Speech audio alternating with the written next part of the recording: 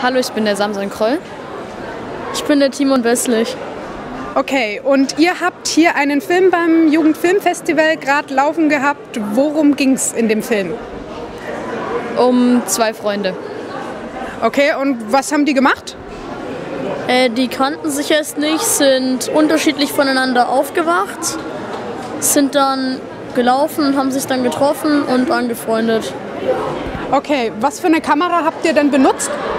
Äh, die Canon EOS 700D. Okay, und macht ihr schon länger Videos oder war das jetzt das erste, was ihr gemacht habt? Also wir machen schon längere Videos, also schon sehr lange. Habt ihr an dem Video dann alles selber gemacht oder hattet ihr noch ein größeres Team? Äh, nee, wir waren eigentlich ausschließlich zu zweit. Wie lange habt ihr denn gebraucht, um das Video von vorne bis hinten mit Dreh und Schnitt fertig zu machen? Also gedreht haben wir zwei Wochen und geschnitten. Äh, nee, gedreht haben wir zwei Tage und geschnitten haben wir eine Woche ungefähr. Aber naja, eher auch zwei oder drei Tage so. Und dann auch ein bisschen Nachbearbeitung, ein bisschen. Aber Und hat es Spaß gemacht? Ja. Und sowas macht ihr dann öfters? Das heißt, ähm, beim nächsten Jugendfilmfestival könnte wieder was von euch kommen? vielleicht. Vielleicht, okay. Man hat ja richtig coole Moves gesehen, die ihr da gemacht habt. Woher könnt ihr das?